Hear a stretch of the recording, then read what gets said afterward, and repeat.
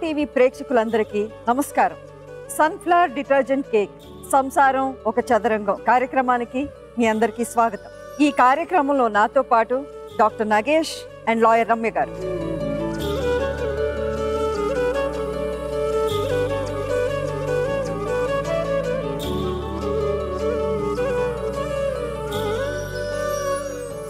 వెంకటేష్ మంచి పరువున్న కుటుంబం నుంచి వచ్చాడు. నిక్కచ్చిగా మాట్లాడతాడు. దాంతో ఒక్కోసారి సమస్యలు కొని తెచ్చుకుంటాడు. వెంకటేష్ భార్య సునీత.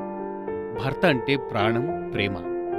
అంతేకాక మొండి పట్టుదల మంకుపట్టు మనస్తత్వం వలన ఈమె కూడా సమస్యలు అతి తేలికగా తెచ్చుకుంటుంది. భార్యాభర్తలు ఎలా ఉండకూడదో అసలు ఎలా ఉండాలో కూడా తెలియని వారు ఈ ఇద్దరు. దీంతో ఇద్దరి మధ్యకు ఇరు కుటుంబాల వారు ప్రవేశించారు. సమస్యలు జటిలమయ్యి ఇద్దరూ వేరైపోయారు. ఇప్పుడు కలిపేదెవరు? మనం ఏం చేయాలో చూద్దాం.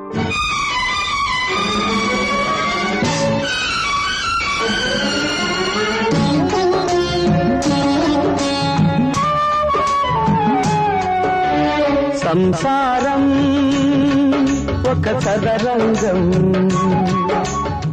సునీత మేడం. ఏ ఊరమ్మని? మాది అత్తగారు గుమ్మకొండ మేడం అత్తగారు. ఇక్కడికి నువ్వే కంప్లైంట్తో వచ్చావు. నేనే కంప్లైంట్ నీ. ప్రాబ్లం ఏంటని సరిగ్గా చెప్పాలి. నా స్టోరీ మా భర్త మేడం నీ భర్త నీకు ప్రాబ్లం నా భర్త ఏంటి ప్రాబ్లం నా అత్త మా అత్త కూడా మాకు నా భర్త ప్రాబ్లం అది ఎంతకాలం అయింది పెళ్ళి పెళ్ళి ఆరు సంవత్సరాలు అవుతుంది మేడం. ఆరు సంవత్సరాలు. బాబు? ఫస్ట్ ఒక పాప చనిపోయింది మేడం. ఆ సంవత్సరం అవుతుంటే అప్పుడు కొడుతుండే తింటున్నా కూడా మంచిగా ఉన్నాం. పెళ్ళి ఎలా ఉన్నారు, అయ్యాక. పెళ్ళి అయిన తర్వాత బాగానే ఉన్నాం. అసలు ఫస్ట్ పెళ్ళి ఆ తర్వాత పాప పుట్టింది. ఆ తర్వాత పాప పాప ఎందుకు చనిపోయింది? పాప తెల్లారి తిరిగి చేస్తాం అనుకున్నాం మేడం. అయితే ఏమైంది ఎవరు వేసారో ఏమో నాకు తెలియదు మేడం. తెలియదు అదంతా చూస్తున్నా కూడా పాప ఏడ దొరకలే హౌస్లో ఉన్నది. ఏడ చూసినా కూడా మేము అసలు ఏంది పాప లేదని మేము వదులుకున్నా కూడా మా వారు అన్న తర్వాత హౌస్లో ఉన్నదేమో చూడని మా వారే చెప్పిండు. చెప్పట్లు మేము చెప్పొచ్చా మేడం.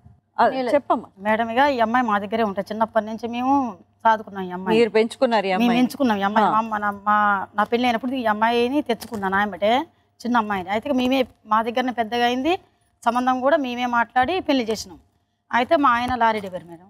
అయితే అతను కూడా నీకు మరిది వరకు